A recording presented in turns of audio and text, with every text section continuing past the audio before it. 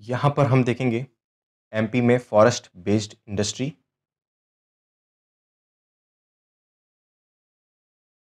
और यहाँ पर हम देखेंगे कि ये आउटलाइन मैप है नीमच मंदसौर रतलाम उज्जैन और आपको ये पूरा मैप यहाँ पर आउटलाइन मैप याद होगा। सागर, भोपाल, इधर सागर। यहाँ पर हम फॉरेस्ट बेस्ड इंडस्ट्री देखते हैं।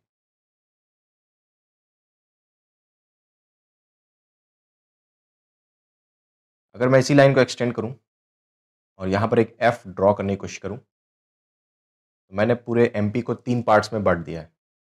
ये वाला जो पार्ट है, वो डेंस फॉरेस्ट का है, ये मीडियम और ये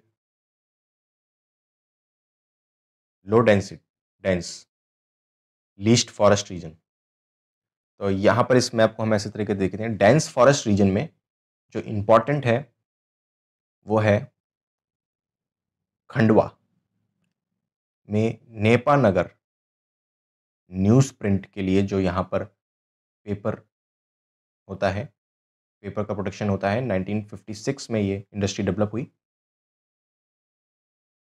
तो यहाँ पर ये न्यूज़पेपर के लिए पेपर का प्रोडक्शन होता है और ये नेशनल इंपॉर्टेंट है।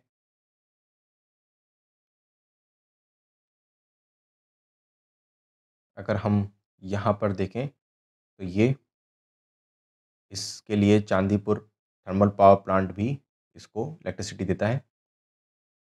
देवास में नोट प्रिंट नोट प्रिंट की फैक्ट्रीज डेवलप हैं। शहडोल, अमलई में oriental paper mill important Shahdol. And timber industry Chhindwara, Mandla. Timber industry Chhindwara और मांडला में डेवलप्ड है। अगर हम इस एरिया में देखें मीडियम फॉरेस्ट रीजन तो तेंदुपत्ता बेस्ड बीडी इंडस्ट्री तो यहाँ पर सागर, कटनी, दमोह, सतना एंड जबलपुर ये डेवलप्ड है। और ये जो है तेंदुपत्ता बेस्ड बीड़ी इंडस्ट्री इसमें ट्राइबल लोग इंक्लूडेड रहते हैं।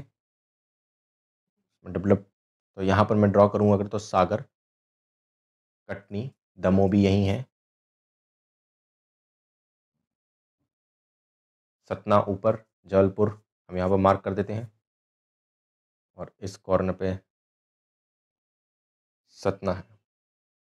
अगर हम लीस्ट फॉरेस्ट रीजन को देखें, क्योंकि यहाँ पर रेनफॉल भी कम है तो फॉरेस्ट एरिया भी कम है तो शिवपुरी में कत्था इंडस्ट्री खेरवार ट्राइब्स ट्राइब इसमें इन्वॉल्व रहती है। तो यहाँ पर आप ध्यान दे, देख सकते हैं forest based industry dense forest region में बैम्बू टीक ये हैवी रोजवुड साल बहुत इंपॉर्टेंट है। इससे रेलवे के ट्रैक बनते थे पहले। लाख, ये इंपॉर्टेंट इंडस्ट्री हैं डेंस फॉरेस्ट की और मीडियम फॉरेस्ट रीजन तेंदुपत्ता, खेर, सागौन लीस्ट में, शिपरी में, बामोर में कत्था इंडस्ट्री जो डेवलप्ड है, जिससे बीड़ी बनती है।